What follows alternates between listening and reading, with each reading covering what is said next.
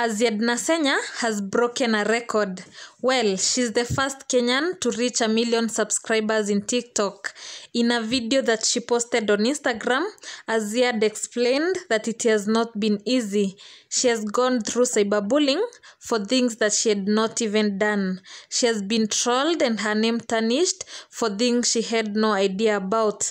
However, she has thanked everybody who has followed her and to all her fans, she has really appreciated them for always enjoying and subscribing to her content. Well, this is what she said under the video. I quote, We hit 1 million followers on my TikTok yesterday. I'm grateful to God for the growth and for holding my hand throughout my journey. I am grateful to Him for giving me you guys as my family. Thank you for believing in me and supporting me. Also, thank you for 1.1M on Instagram. We have grown 100k in a month. End of quote. So, for those who do not already know, Azziad Nasenya is a 20 year old who rose to fame in April 2020 after doing outstandingly well in the Utawezana Dance Challenge.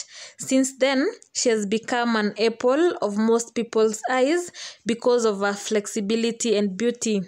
Azziad is a third year student at the Kenya Institute of Mass Communication pursuing broadcast journalism.